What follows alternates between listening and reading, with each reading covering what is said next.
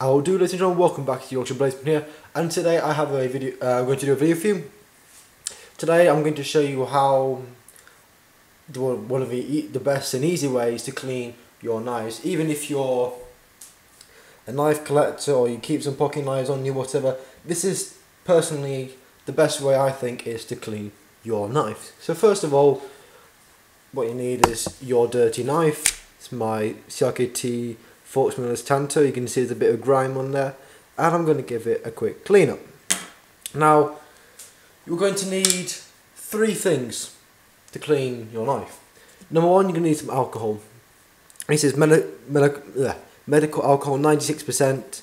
It's in Spanish because I bought it in Spain for some very cheap amount of money, like 90 cents or something. So you're going to need this. This your cleaner. It will remove all the bacteria because there's an alcohol, kills it all, and gets rid of any grime on it, which I believe is better than using hot water and soap, which you can also use that, but I believe this is the best way because this guarantees killing majority of all the bacteria because it's an alcohol. Next you're going to need some kitchen roll. This will act as a layer of protection on your surface and also to dry and clean the blade to wipe off the excess amount of alcohol. And lastly what you need are cotton um, well patches uh, well we use to take off makeup and stuff like that. This will be used as applying the alcohol onto the blade to clean it. So let's get started. So once you've applied your kitchen roll onto your surface it's protected if you're not bothered then just do it on the surface but I want to make sure that I don't damage or get any stuff on it, any of the alcohol on the granite surf surface. So, moving to the knife onto the side, you take your alcohol.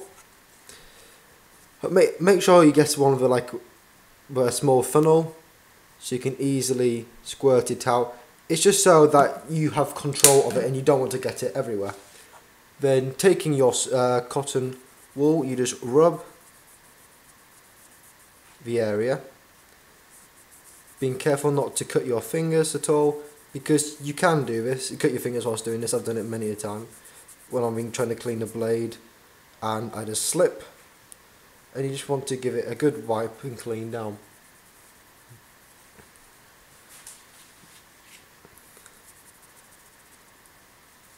So as I said, the alcohol will act as a disinfectant, which I'm sure uh, most of you already know this, so it will kill all the germs.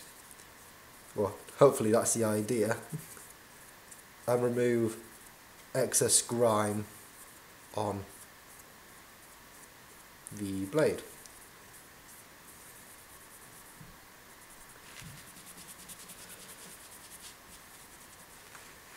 But as I said, if you don't want to splash out on buying medicine alcohol, uh, you can just use uh, hot soapy water. That works just as well. And there we have it. I have successfully, I hope, well, removed all the grime on the blade. Now it's important because if you leave, if you know you've got grime all over a knife and you leave it on there for some time, it's going to become more stubborn to remove and embeds in more. So therefore it will take a lot of pressure and more time to remove all the excess grime off it. But if you clean them regularly, your knives, and if you zoom in a bit more, and if you clean it every time you use it, then when it comes down to the big clean with your alcohol, then you're going to have an easier time of removing that grime. So there we have it. We have one nice clean CRKT for Folts minimalist.